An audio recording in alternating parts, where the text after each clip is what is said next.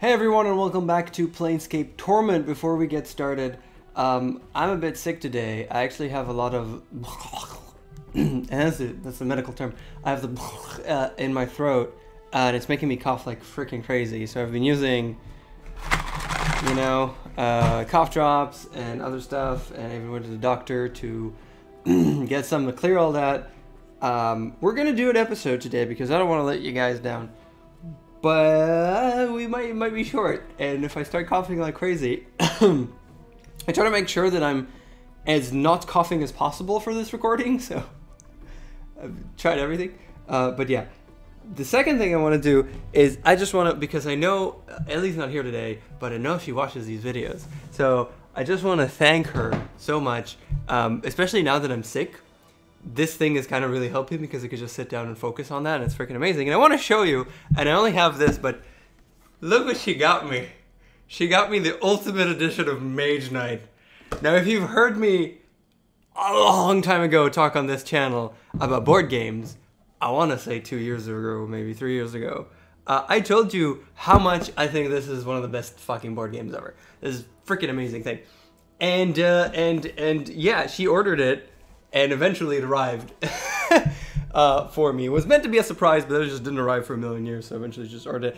And it's finally here, and it's freaking crazy because there's so much to freaking play. Um, obviously, I'm just like, it's just the, the thing because, I mean, obviously it's all laid out on the table right now, mid-game.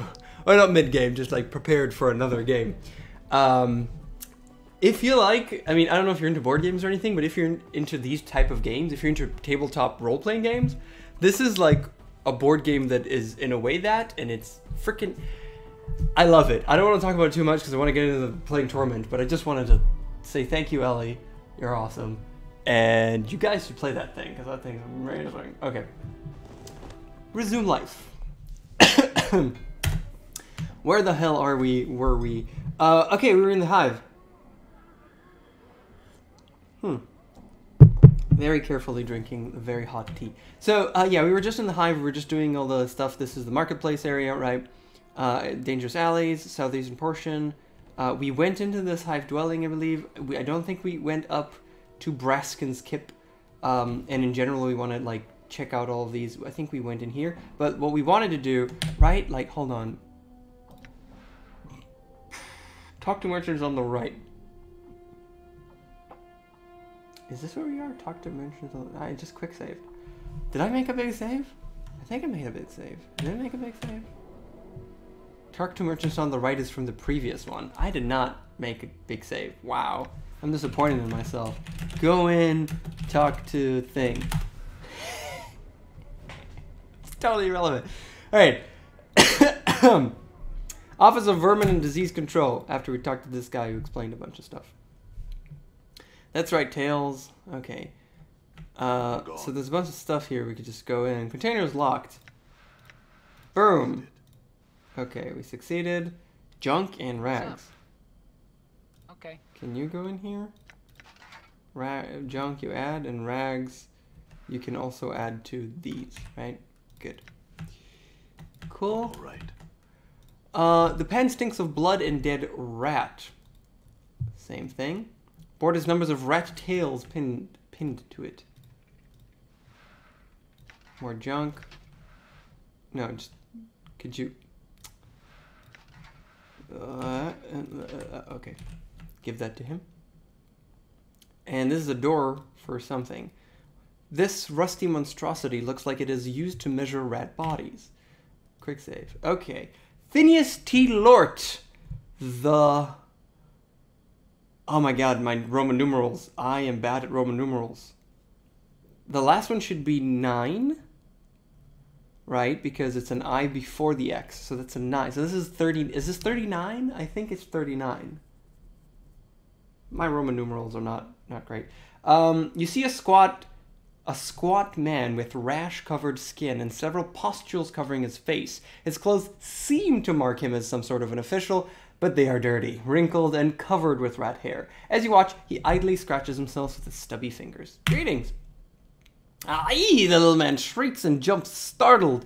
Clutching his heart, he takes a deep breath and pushes his spectacles up on his rash-ridden nose. Yes, yes, and what is it I can do for you? He scratches his nose and looks up, uh, looks you up and down, studying your scars. I have little to nothing in the till, so if you have to come to plunder the premises, this locale is ill chosen. I'm not here to plunder the premises. Who are you? Well, why don't you just give me what you have and we'll part as friends? No. I I am the respected Phineas T. Lort the 39th. Ah, I was right. In charge of his hive branch on the Office for Vermin and Disease Control. It is my distinguished privilege, he scratches his chest and puffs up, to inform you that we, in the bureaucratic sense of the word we, meaning to encompass the sigil bureaucracy as a whole, are accepting bounties on all manner of vermin and strays that infest the he scratches again fair streets of sigil hub of the multiverse and the city which sits at the center of all things the city by which all other cities are measured Bodies? Updated my journal. Yes yes. We in the bureaucratic sense of the word. Yeah okay he just repeats himself. I just didn't want to repeat myself but he does repeat himself so. Of the word we, meaning to encompass the sigil bureaucracy as a whole, are accepting tangible proof of the eradication of brain vermin, also known as cranium rats, from the hive area where they have clustered quite thickly for the past many years, as a recent census of the vermin population has shown. I am empowered by the sigillian bureaucracy to pay a bounty of, he puffs up dramatically, one copper common per cranium rat delivered to my branch office. Cranium rat? Cranium rats are a species of vermin that become more intelligent the more of them are in close proximity to each other. One cranium rat alone is but a nuisance that chews at boards and burrows into food, but five, ten, or more, and their intelligence grows until it surpasses even the intelligence of one such as myself. Scratches then sniffs disdainfully. Uh, I imagine that two or three cranium rats might be enough to outwit you, sir. Ha, ha, ha. Another comment like that, and you'll be wearing your ass as a hat. How many cranium rats are in sigil? More than enough to last a bounty hunter a lifetime, perhaps several. Um, I had some other questions. Hmm, and your questions would be? Um, as illustrious as you end up in such a place. Well, it is quite an epic tale, you see. I was born here in Sigil. Uh. Oh. So they literally okay, this is such a long tale. You have rested for eight hours. So I've actually fallen asleep and rested for eight hours because I clicked that. Cheers is all I got to say. And then I realized that I somehow offended my colleagues and found myself promoted to this branch office and have remained here for the past many years. He sighs and idly scratches his nose. Uh, I had some other questions.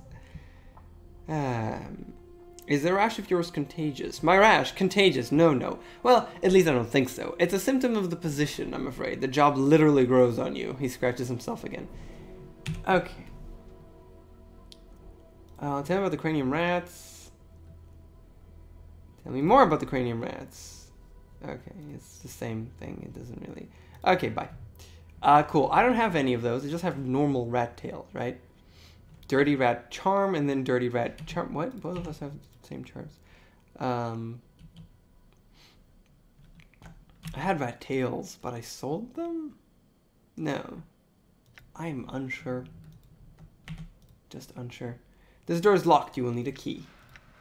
Failed. That won't. fo- Yeah, that won't. I didn't think that will work. But okay, so there's a door in there. Enemy paused, of course.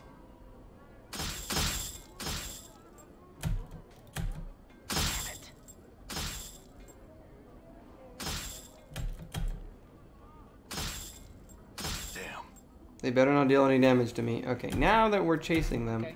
you can chase that guy and you can chase that guy. This game is stupid. Huh? Okay.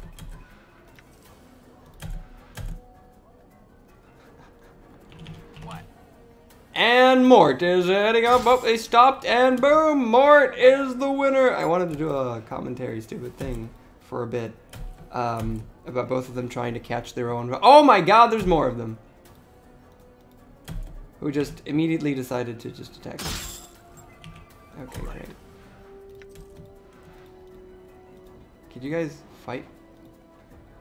No, it's just more, more, it's purely more. Just attack. Okay. No, one damage is all I'm willing to take. So, I wonder what happens if I do a, I completely get out of their range. No, they're just like only, they only, they only have eyes for me. Oh, now we've got six now. why is it, why? What happened? What did I do? I'm gone. Hive Dweller. Why is the Hive Dweller? Why are the Dwellers want to attack me? What did I do to all of you? Uh, okay. I, I'm just gonna, like, make a quick save before leaving. All right. Why did they immediately want to fight me? Oh my god. So. Good. He did. Okay, quick save successful. Where are the other two? They do want to fight.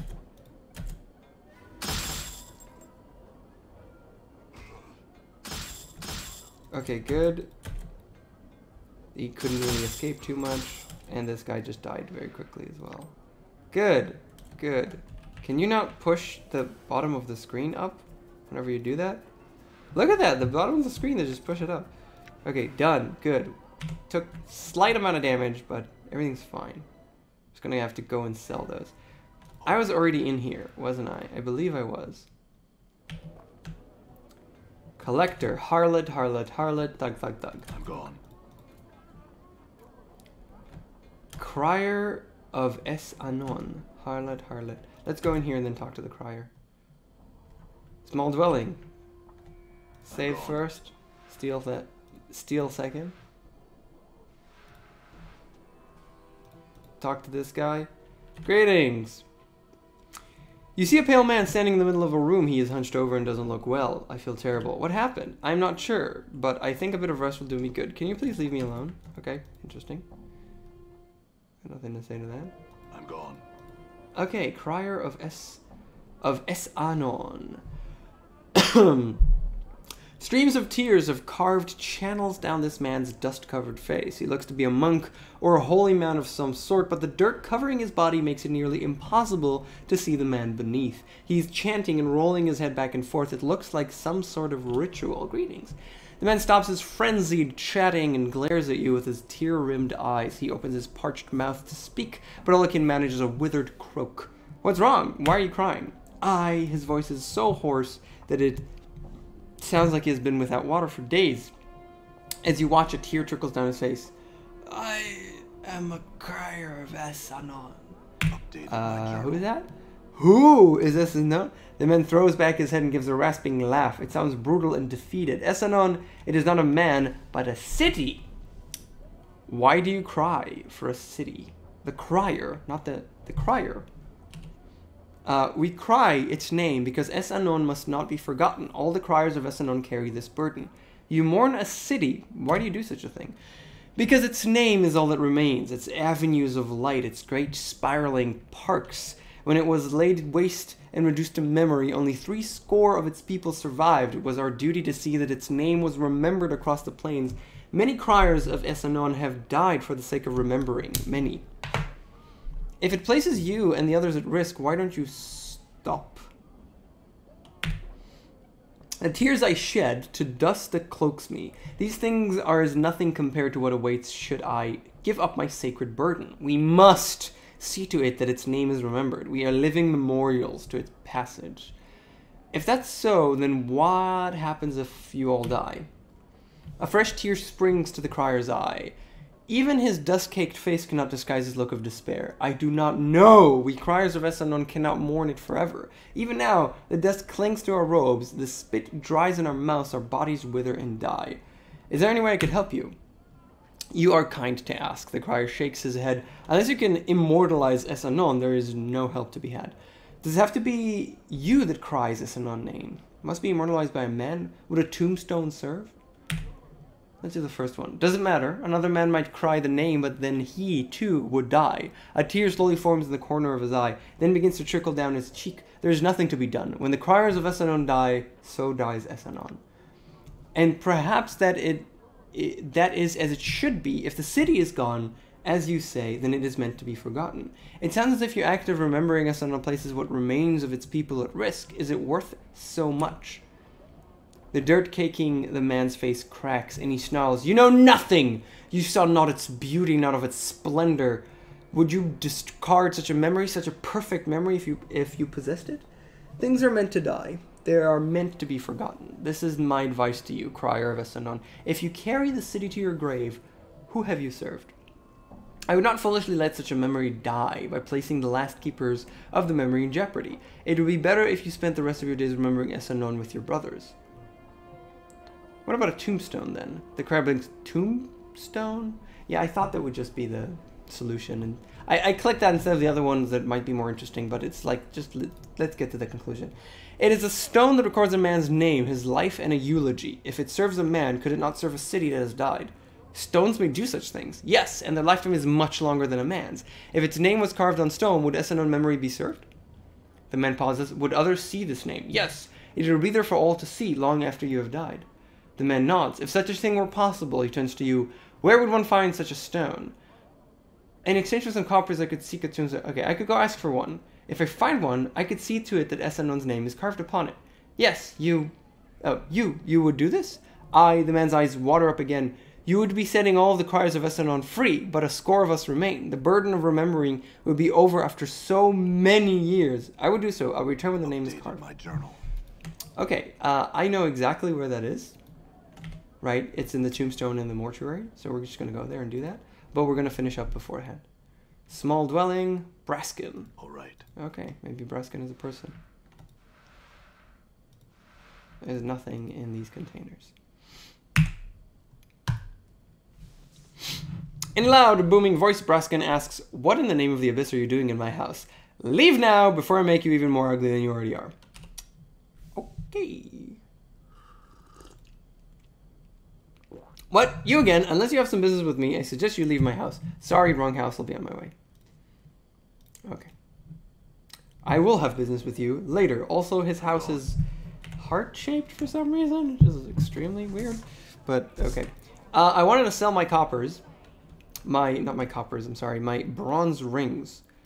Um, of course, I can't fucking remember which merchant will do that because that would make it easy. Oh, okay. So the ring, uh, nuh-uh. But the bracelet. This is so freaking random, but sure, sure. This one. Okay. Yeah, stupid. Cranium rat charm. It'll give me one copper for it, and I could buy it for one copper.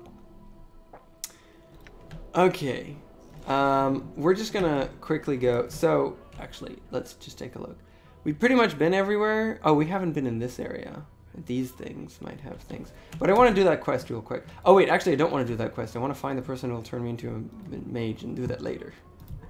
Yeah, technically, I want to try to avoid. Um. Tout here, tout. I don't know what a tout is. Let's see, townsperson. Yeah, so the question is where the fudge can I find um, somebody who will turn me into um, mage? Ragpicker Square. I was in Ragpicker Square. I was in the Hive. I was not in the Buried Village yet. Uh, I don't know how to get there.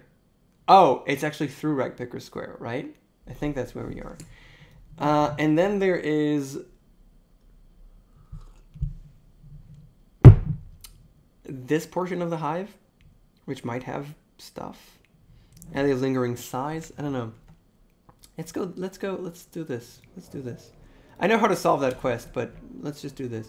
Who wants to fight me? This thug? Okay. Oh, Morte can't make it. I'm gone. Okay. We're just gonna run past them and hopefully they won't randomly attack us because it's completely random if they want to attack or not. Okay. So, we are the northeastern portion of the hive. Uh, we are now in this part of the hive. So, southeast, right? New, 27. Southeast looking for maid mug. Just gonna just gonna do this. Looking for a mage. There's some people who are very much on the edge of the map. But I guess that's okay. There appears to be a gutter of some sort. It looks as though it has seen little use. Drunk, drunk. Thug, thug, thug, thug, thug, thug, thug, thug, thug, thug. Thug, thug, thug, thug. Amarisa.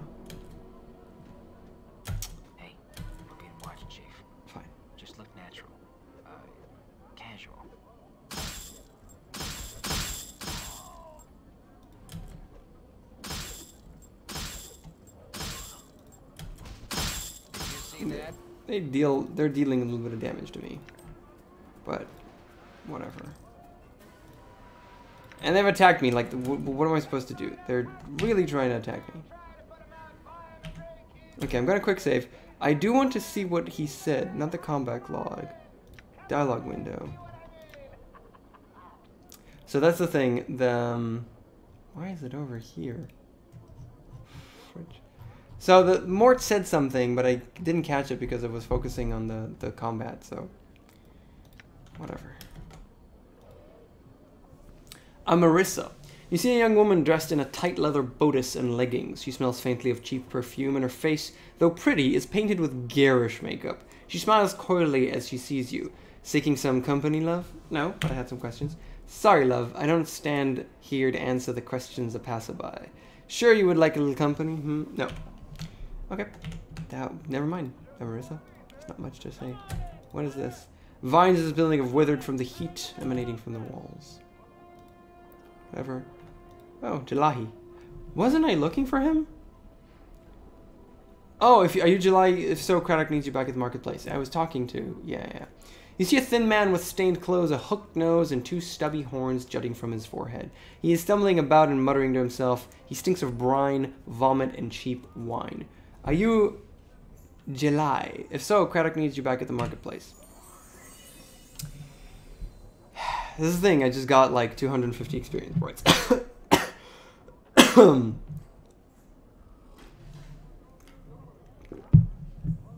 okay, and he wants me to say thanks to Craddock. Maybe I just won't talk to him right now, and hopefully maybe talk to him a bit later. We're being watched, Chief. Just look natural. Uh, casual. Look natural, casual. Barking Wilder. Hive Thug, Starved Dog, Barking Thug. Oh, the barking ones. Those are the ones that, that wanted to fight me. That wanted to fight me. That I, I needed to fight in, in order to make somebody happy. Um, because she was angry with them. Remember? Tattoos Parlor. Fell's Tattoo Parlor. I'm gone. Parlor. This strange looking chair seems to be where the patron sits. A burning skull has been inscribed in the wall. Two symbols of duality flank it. The design seems to be of a shadow casting a shadow. The silhouette of the shadow makes it unclear whether it is a man or a woman. I can't see it, but I see the skull. A pattern of barbed black branches have been inscribed to the wall. This looks like a cloak, but there are no numbers. A clock, but there are no numbers uh, or handles to it. An unusual work of art. Can call that art. Ooh, there's a bunch more. This tattoo is of a night black steed with dead white eyes and spines bristling from its shoulder blades. This picture is from a blackened uh, sphere with trails of black trail with trails of black mist floating away from it. This design shows a series of black drive rivers whose courses divide, uh, cross each other, then flow together. This design is a hollow beast with a tiny demon on its head. Human skin has been stretched across this wooden frames. The skin skins are covered in tattoos. Yeah, they're all pretty much that. Interesting. Okay, let's talk to Fell in Fell's tattoo parlor. You see a dabus. Mm-hmm. But something about it strikes you odd. Uh, it has the same shock of white hair, the same greenish cast to its skin, the same pair of goat horns. Then you suddenly realize this one is walking on the ground, not floating. For some reason, that makes you uneasy. Morte, can you translate for me? Morte scoffs. I'd sooner be straying through a tanar'ri's bowels than unravel what the goat head's trying to say. You want a translator? Find a sigil native. I see. The devil waits patiently, its hands tucked into its sleeves. Uh, a series of symbols materials above its head then dissipate and a question mark appears. Right, because that's how they talk in a weird way. Dabus waits. Who are you? And you can see the symbols above its head. As you're about to ask, you suddenly realize you already know the dabus's name. His name is Fell. As if in response, the Davis inclines his head slightly, and a lone symbol appears above its head. There's a lot of them. It is blurry at first, then resolves into a white oval with a black lightning bolt through it. I feel like I know you, Fell. Fell bows reverently, and a stream of symbols swirl above his head, rotating clockwise, then counterclockwise. It takes you a moment to translate. This is the first time. This is the first time, and not the first time, you have come to this place. Okay. Do you know who I am? Another series of symbols materializes quickly and sharply into focus above Fell's head. The translation comes to you just as quickly and sharply as the symbols themselves, as if and as if you have translated the exact same string many times before. Yes, but I am not permitted to tell you your story. Why not? Updated my journal. For a moment, there is no response from Fell. Then a stream of re- rebuses appear, as if trickling out of Fell's mind. My apologies, I cannot. I cannot change the nature of a man. You can't explain why, but the last sentence sends a crawling sensation through your skull. Nature of a man. What does that mean? The symbols that appear above Fell um, almost mirror the previous stream. My apologies, I cannot say. I see. I had other questions. The dabus waits. What is this place? A slow train of symbols materializes around Fell's head. The symbols have taken several moments to resolve, starting with simple lines, then fleshing themselves out into breathing, take, breathtaking colors. This is where I tattoo color and life upon flesh and bone. Hmm. Can I see what tattoos you have? Oh, it's. Oh. Tattoo of the Restless Dead invokes Bless. This tattoo recognizes your efforts to calm the restless dead of the mausoleum. You may draw upon their gratitude to bless yourself uh, or your companions. This is only a limited number of uses before it vanishes. Oh. Hmm. This is an interesting system. So, does that mean that some of them of greater warding? This tattoo is plus one to armor class, is a minor ward against physical attacks. It hardens the wearer's skin, making them more difficult to hurt in combat. And it's just this is that. And greater warding is plus two. Usable only by fighters. This is also only by No, this is by anyone. Wow. And it's just a system. Hold on though. Do I have? I have one. no, I have two tattoo, three tattoos. I can have three tattoos. These seem really, really good. um. I'm gonna go back to the tattoos in a second, but I want to ask about other things. I feel like I know you. What are those frames in the back room, Fell? A caravan train of symbols slowly materializes around Fell. one by one. It is my gallery. Your discarded skins are my canvas. I admire you. I am saddened for you. Saddened for me? Why? Another caravan of symbols forms around Fell, this time forming a circle. The mark of torment lies upon your flesh. Tragedy, tragedies and loss have built themselves upon you like stones upon a foundation. You have endured great pain. What do you mean? I admire you because you have never surrendered to the weight of those losses, despite the fact that chains hang on you still. These losses blanket this life and all of your past ones. You shed lives like a nothing like a molting serpent. You are exploring the infinite paths of life. Tell me more.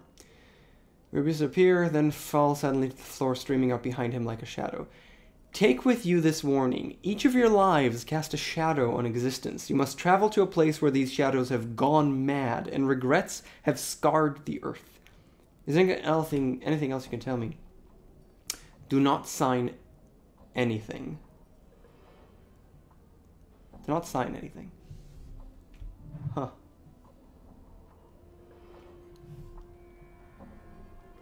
So you remember that thing where I didn't sign? I, I ended up not signing the thing because something told me not to? He's also saying not to sign anything. So this is the point where I'm assuming a lot of people who know the story of the game, I'm not one of them, uh, who know the story and understand what this means are like, but I am not. It's like oh, but I'm not that. Um, I don't know what this means, so I'm very very intrigued in seeing what that means as we move forward and unravel this crazy crazy stuff. Very well. Do you feel complete? Oh, do you feel complete? Truth, I don't. In fact, ever since I woke up in the mortuary, I feel like something's missing, something inside. Fell nods, and a series of symbols materialize in a halo. You are strong. Keep faith, and you shall become whole again. I'll try. Um. You say you've met me before. Do you know how I died? Fell does not respond for a moment each of them casting a long shadow. Shadows. Shadows? The three symbols swirl about each other, each leaving a faint black misty trail above them. They take on a ragged edge like teeth and talons and multiply. Where there were three, there's nine. Nine becomes twenty-seven, until the room is a swarm of shadows. Many shadows. They streamed from the darkness, swarmed you, then left you to die. Why? The shadows symbols swirl into one, then dissolve to be replaced with a simple symbol. I don't know. Um. Can you tell me anything about the tattoos on my body? Fell studies your body for a moment walking around you. He mirrors each symbol as he examines it, then returns to face you. I know them. None are by my hand. Can you tell me about some of them? Fell nods, appearing around him like fireflies. The ones on upon your back were scribed with a careful hand and are directions for a mind that forgets itself. The symbol that lies upon your left shoulder is the mark of torment. Torment? The symbol sharpens, gaining edges that are almost painful to your eyes. It is torment. It is that which draws all tormented souls to you. Fell nods at your left arm, at your shoulder. The flesh knows it suffers, even when the mind is forgotten, and so you wear the rune always. I'll keep that in mind. Can I see what tattoos you have? Yeah. Okay, I think we've asked him everything else that we can. So tattoo of accuracy just gives you Thaco plus one. That's that's those are really cool. Um, Restless Dead, but this is limited uses. Invokes bless. This is tattoo of the skull. Temporary, equipped my plus one charisma and minus one weak. Equip? Can we just equip and dequip them? Um, tattoo of the skull, but it doesn't look like a skull. It just looks like like the Triforce, but in a weird way. Um. For all Morte's faults, having him as a companion makes you seem more capable and not so much of a stranger to Sigil's streets. This tattoo reinforces that bond, giving you plus one to charisma, and when invoked, it also lends you some of Morte's luck uh, and his ability to shrug off anything that would otherwise cause him to stop talking, such as paralyzation or stunning. Unfortunately, it also gives the user a penalty for their wisdom, which is not hard to understand considering how little Morte has to spare. This tattoo can only call upon its luck ability a limited number of times. When the tattoo's power is exhausted, the charisma bonus will remain. Interesting. Uh, but why is it usable only by the nameless one? Yeah. But why can't I, like, Oh. But this one is like doled out, like I can't buy it or something, and I don't understand why. Uh, tattoo of bloodletting. Damage with all attack. Wow, these are just really nice bonuses. Um, damn. More strength, greater might is 2, usable only by fighters. Insight, intelligence. Uh, of the spirit is wisdom. Action is dexterity. Health is constitution. And there's the greater. Presence is charisma. Enduring base hit points. Warding is just 1 to armor class. These are all great, but I don't know what I need right now. I really don't. Uh, I don't mind buying like tattoo of warding because I just want to see how this works. Do I just literally have a tattoo of warding? Yes, I literally just have a tattoo of warding and I can just put that anywhere. It's a patch of skin that I can just put anywhere. Okay, that's interesting.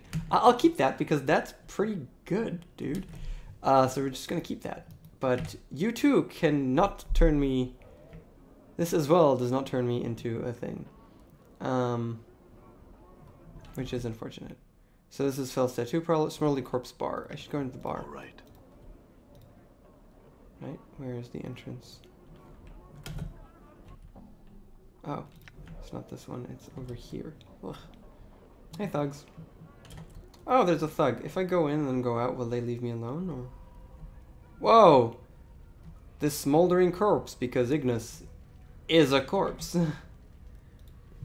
These vents blow incredibly hot air from the furnaces below. Save. Uh, we're gonna do 28.